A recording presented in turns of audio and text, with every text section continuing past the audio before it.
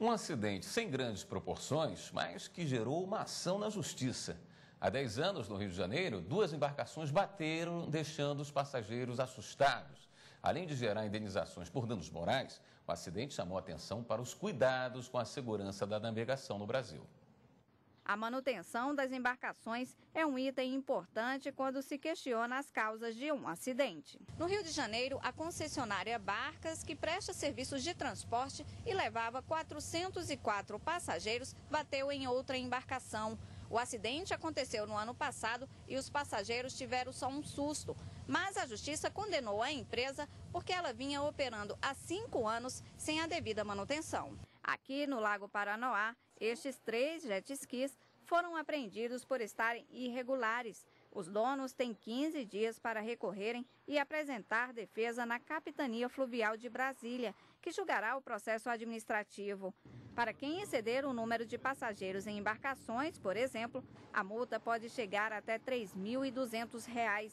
No Distrito Federal, a infração mais comum é a falta do uso do documento da embarcação e a multa varia entre 40 e 400 reais. Havendo o prejuízo e havendo uma ação que é, seja ligada a esse prejuízo, ou seja, que dê causa a esse prejuízo, tanto o condutor como o proprietário da embarcação poderão ser condenados por danos materiais e também por danos morais àquelas vítimas. A Capitania de Portos do Grupamento de Fuzileiros Navais é responsável por fiscalizar e reter as embarcações irregulares no Distrito Federal.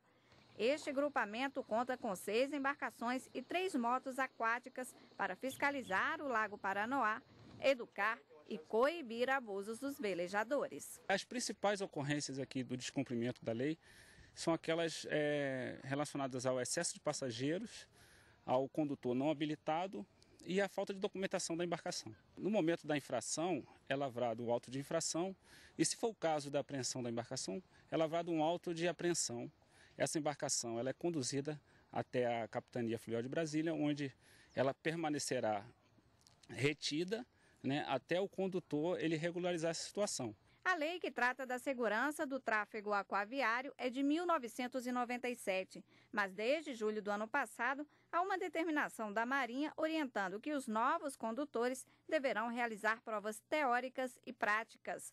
O candidato deve ser maior de idade, comprovar um bom estado psicológico e físico, além de apresentar conclusão do curso de navegação e ter noções de abreviatura e simbologia, meteorologia, sobrevivência no mar e segurança, entre outros. O bafômetro, mesmo usado nas vias terrestres, também é utilizado para medir o teor alcoólico do condutor de embarcações. As medidas são as mesmas. Tudo isso para diminuir os acidentes.